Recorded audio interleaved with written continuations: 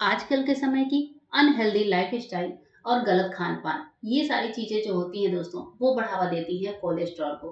Cholesterol जो होती है, वो हमारे बॉडी में कई तरह की समस्याओं को जन्म देती है। इससे हार्ट संबंधी बीमारियों का खतरा बहुत ज़्यादा बढ़ जाता है, लेकिन अगर हम अपनी लाइफ स्टाइल में कुछ बदलाव करें खाने पीने में कुछ बदलाव करें और कुछ घरेलू उपाय कर लें तो इस समस्या से बहुत ही हद तक राहत पाई जा सकती है। इसके लिए जो चीज़ें जो रेमेडीज मैं आपको बता रही हूँ, वो आपके किचन में इजीली अवेलेबल होती हैं। जैसे कि हमारी जो पहली रेमेडी है, वो है लहसुन को लेकर। लहसुन आपको पता है कि हमारी डाइजेशन सिस्टम को मज़बूत बनाता है। अगर हम डेली खाली पेट लहसुन खाते हैं तो हमारा जो डाइजेशन पावर है, वो बहुत ही मज़बूत होता है। यहाँ पर लहसुन का इस्तेमाल हम दो तरीके से करेंगे। दोनों तरीके मैं आपके साथ शेयर करूँगी। पहला तरीका तो यह है कि आप लहसुन को छील कर रख लीजिए। दूसरा तरीका यह है दोस्तों कि लहसुन को आप छिलके समेत इस तरह से कलियों को अलग अलग कर लीजिए और छिलके समेत ही इनको चबा चबा कर खाइए। पूरे दिन में एक बार आपको दो से तीन कलियाँ लहसुन की खानी है, लेकिन छिलके समेत, क्योंकि लहसुन के छिलकों में भी एंटीऑक्सीडेंट की मात्रा भरपूर पाई जाती है और ये हमारे कोलेस्ट्रॉल लेवल को भी घटाता है, यानी कि डाइजेशन मज़बूत बनाता है, लेकिन ब्लड सेल्स जो होते हैं, उनको प्योरीफाई भी करता है। और ब्लड सेल्स जो होती है, वो प्योरीफाई होते ही हमारा जो कोलेस्ट्रॉल है खून की नलियों से, वो जो है हमारे शरीर से डिटॉक्सिफाई होके बाहर आने लगता है। तो एक तो आपको यूज़ करना है छिलके समेत ही यूज़ करना है, बिना छिले आप इनको कच्चा चबा चबा कर खाइए। इसके ऊपर से आप पानी पी सकते हैं। जो हमारा दूसरा तरीका है, वो छिले हुए लहसुन के साथ है। छिला हुआ लहसुन हम ले लेंगे और उसके बाद से हम एक पैन में एक गिलास पानी डालेंगे। या फिर एक बड़ा कप आप पानी ले सकते हैं और लहसुन की कलियों को या तो आप कूट लीजिए या फिर क्रशर से इस तरह से क्रश कर लीजिए। तो यहाँ पर मैंने पानी में पाँच लहसुन की कलियों को क्रश करके डाल दिया है। पानी को हम गैस पर चढ़ा देंगे और फ्लेम को एक बार आप हाई फ्लेम पर रख सकते हैं। जब इस पानी में उबाल आने लगे तो इसको हम सिम करके पकाने वाले हैं। दोस्तों, ये हम बना रहे हैं लहसुन की चाय। इसको बोलते हैं लहसुन की चाय या फिर लहसुन का काढ़ा। और इस पानी में उबाल आते ही फ्लेम को सिम करेंगे। एक बार स्टर कर दें और सिम फ्लेम पर इस पानी को आप चार से पाँच मिनट पका लीजिए। फिर ये जो लहसुन के पोषक तत्व हैं, जो न्यूट्रिएंट्स हैं, वो इस पानी में आ जाएँगे और ये हमारी लहसुन की चाय बनकर तैयार होगी। इसको लेना कैसे है, ये भी मैं आपके साथ शेयर करूँगी। लहसुन की चाय जो होती है, वो हमारी बॉडी को डिटॉक्सीफाई करती है।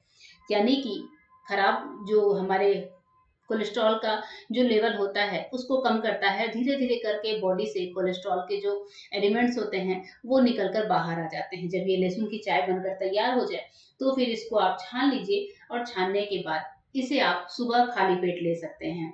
इस तरह से लहसुन के सेवन से आप जो है अपने वज़न को भी घटा सकते हैं और आपके कोलेस्ट्रॉल लेवल को कंट्रोल रखने का काम तो लहसुन की चाय करेगा ही करेगा। आपको हर रोज लहसुन की चाय का सेवन करना है। इसमें जो एलिसिन होता है, वो आपके कोलेस्ट्रॉल को स्वाभाविक रूप से कंट्रोल करने का काम करेगा। इसके अलावा ये हमारे डाइजेशन और बीपी को भी कंट्रोल करने में बहुत ही ज़्यादा हेल्पफुल होता है। अगर आपको बीपी की समस्या है तो ये भी एक घरेलू रेमेडी ब्लड प्रेशर के लिए भी है कि आप बीपी में लहसुन की चाय का सेवन करिए या फिर दो कच्ची लहसुन का सेवन आप सुबह खाली पेट कर सकते हैं, उसके ऊपर से आप पानी पी सकते हैं। तो बीपी की ये रेमेडी भी मैंने अपने चैनल पर शेयर करी हुई है कि अलग अलग तरीकों से आप लहसुन का सेवन कैसे करें, वो भी मैंने अपने वीडियो में बताया हुआ है। दोस्तों, अब बढ़ते हैं हमारी दूसरी रेमेडी की तरफ़। हमें इस रेमेडी में सेवन करना होगा अखरोट का, यानी कि वॉलनट्स का।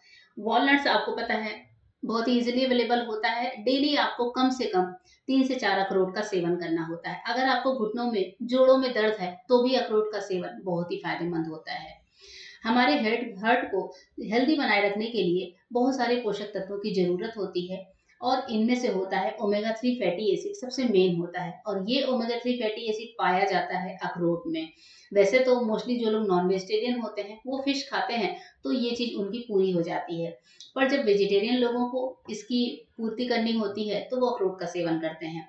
और जिससे हमारे हार्ट का जो हेल्थ है, वो सही रहे। इसमें जो ओमेगा थ्री फैटी एसिड है, वो हमारी बॉडी से कोलेस्ट्रॉल को भी निकालने में बहुत अच्छे तरीके से वर्क करता है। डेली आपको तीन से चार अखरोट का सेवन करना है।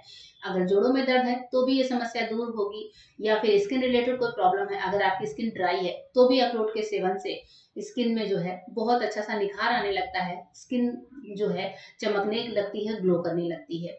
अब बढ़ते हैं अपनी नेक्स्ट रेमेडी की तरफ़। नेक्स्ट रेमेडी जो है दोस्तों, वो है अलसी के साथ।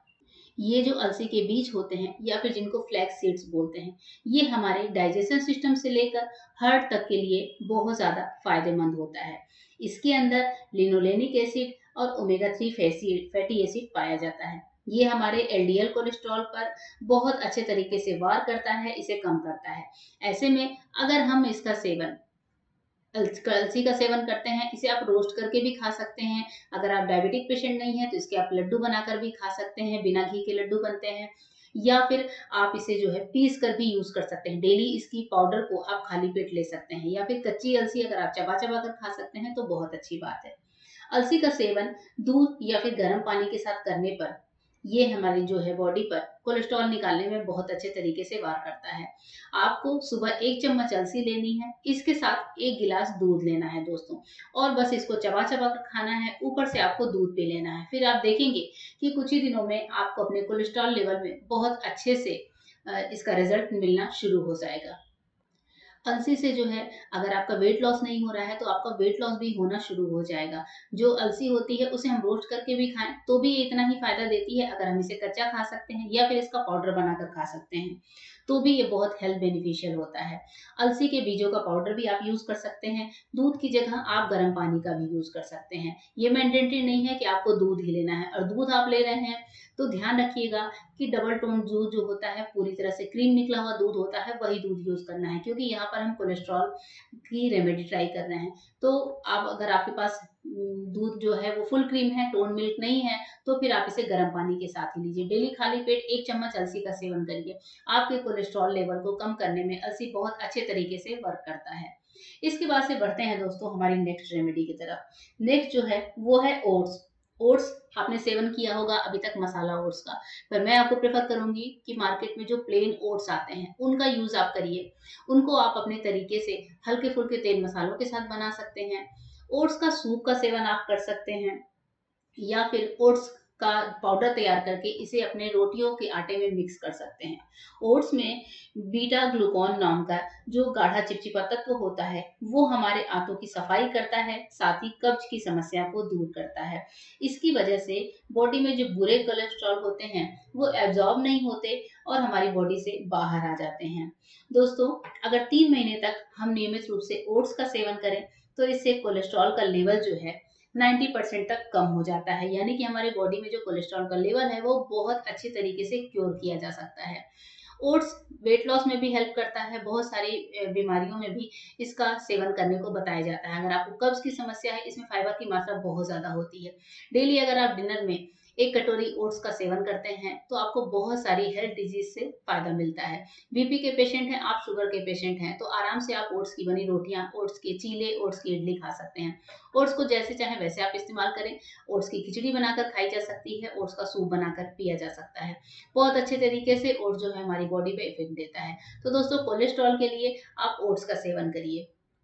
तो दोस्तों, आज की मेरी ये रेमेडीज आपको कैसी लगी, ज़रूर बताइएगा। इससे पहले भी मैंने कोलेस्ट्रॉल लेवल को कम करने का एक बहुत अच्छा सा वीडियो डाला है। इस वीडियो को भी आपने बहुत पसंद किया है। आई होप ये वीडियो भी आपको बहुत पसंद आएगा।